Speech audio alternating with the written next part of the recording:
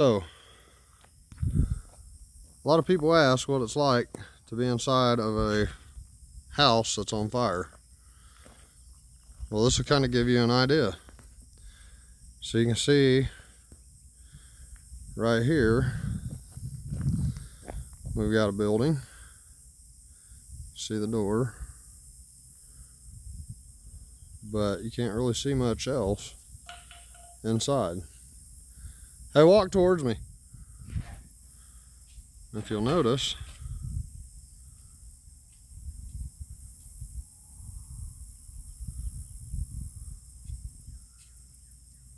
yeah, you can start to see him, but he's almost out of the smoke. All right, so we're gonna take a venture through. Here we go. You wanted to know what it was like? That's what it's like. And just keep watching because it gets a lot more interesting.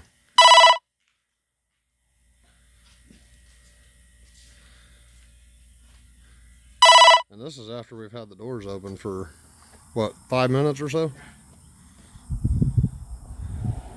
So, yep. Here, we'll walk on through all the way through the building.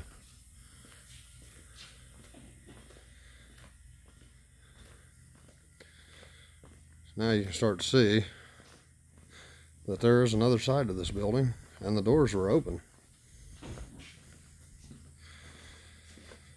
So what if we turn around? Yep, you can see that one.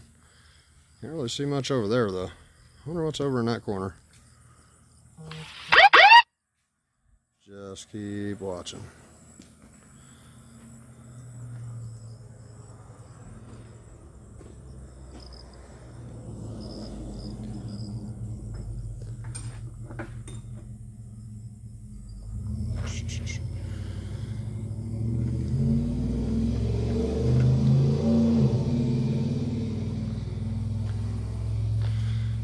We'll venture back there. It's just gonna take a little bit for it to clear out.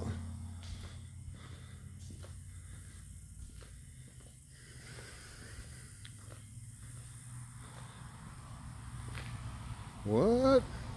There's a whole nother room? Nah, you don't say.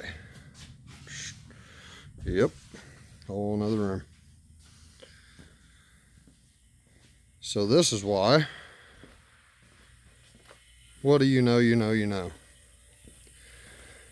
So this is why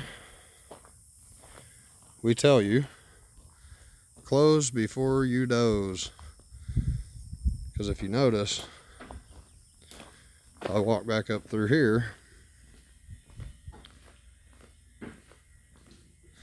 Oh, you walk back up through here. See, we have another room here. The difference in this room. I did open the door just a minute ago. Oh, did you? The door's been closed. Check this out. Yep.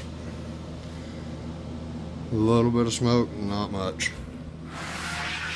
But when you walk right around the corner to the area where the smoke was.